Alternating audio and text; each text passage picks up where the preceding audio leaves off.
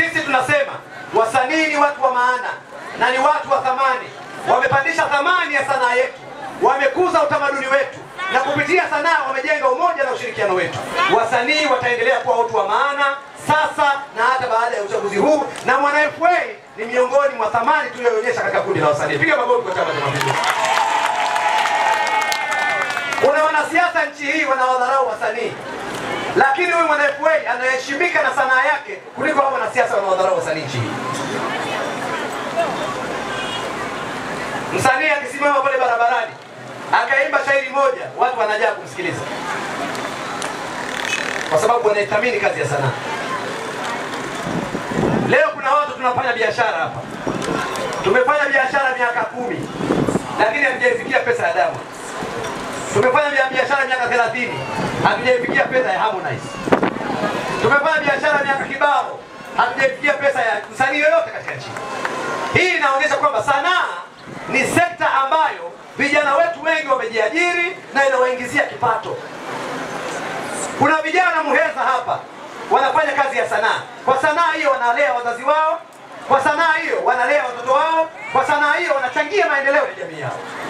Sanaa ni kazi sawa na kazi zingine, na kupitia ilani ya Chama cha Mapinduzi tumeahidi kutengeneza mazingira bora ya sanaa wasanii nchini, ili sekta hii iendelee kuwaajiri vijana, iendelee kukuza uchumi wa nchi yetu, na iendelee kutumika kama turufu ya kujenga umoja na mshikamano wetu.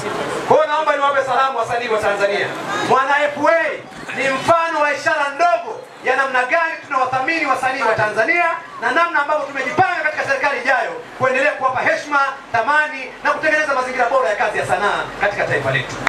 Ndugu zangu, Mwana FA tuliyomleta kwenu si tu msanii, huyu ni kijana msomi, msomi mwenye digrii mbili za uhakika. Piga makofi kwa Chama cha Mapinduzi. Lakini Mwana FA tunamleta kwenu ni kijana jasiri ambaye ameshiriki katika michakato mbalimbali ya kubadilisha sera, sheria na mipango juu ya ukuaji wa tasnia ya sanaa nchini. Ni mtu ambaye mchango wake nchi hii inautambua.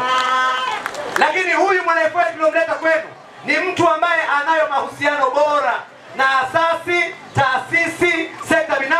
pamoja na serikali. Kwa tunaamini katika yeye kuwa hapa atapanua wigo wa maendeleo ya watu wa Muheza. Piga makofi kwa Chama cha Mapinduzi.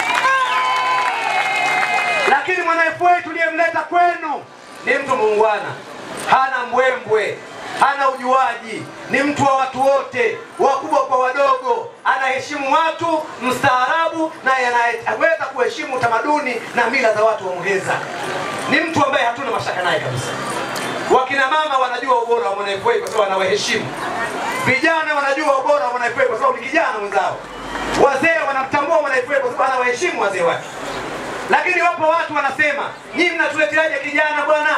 Si tunataka mtu mzima. Hapana, wazee wangu, tumewaletea kijana kwa sababu nyinyi mmeitumikia nchi hii kwa muda wa kutosha, mmeijenga nchi hii kwa muda wa kutosha, mna dhamira ya dhati na nchi hii, wazee wetu. Tumeleta kijana ambaye mnaweza kumtuma akakimbia, mnayeweza kumwelekeza akasikiliza, mnayeweza kumshauri akasikia, mnayeweza kumkemea akaomba radhi. Piga makofi kwa Chama cha Mapinduzi. Tumeleta kijana ili aheshimu mji huu na wazee, asije mzee mwenzenu akasema msiniambie lolote na mimi mzee kama nyinyi. Ah, ah. Tumeleta kijana ambaye mkimtuma atakwenda mbio kufanya. Tumeleta kijana ambaye anatambua mji huu na wazee lazima wasikilize. Tumeleta kijana ambaye na yeye ana wazazi na anajua thamani ya wazee. Ndugu zangu, Waswahili wanasema akionacho mtu mzima akiwa wima, kijana akiota hawezi kukiona hata akiwa ameketi. Kwa na sisi tunaamini Mwana FA tumemleta, lakini nguvu ya watu wa Muheza, heshima ya watu wa Muheza imebebwa na wazee, kina mama na vijana wa Muheza. Piga makofi kwa Chama cha. Wananchi wa Mwenza wote nyosha mikono juu watakaompa kura Magufuli. Bila kumsahau ndugu yangu wa karibu, rafiki yangu ambaye nimecheza naye Mwana FA, naomba apate kura zote katika hasa katika kata ya Majengo, asikose hata moja, iwe ni asilimia.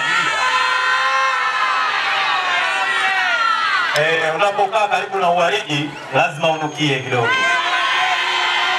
Naomba na mimi hapo hapo ninukie tena kwa, kwa spidi. Zingine sio na mengi sana ya kuwachosha mheshimiwa mwenyekiti.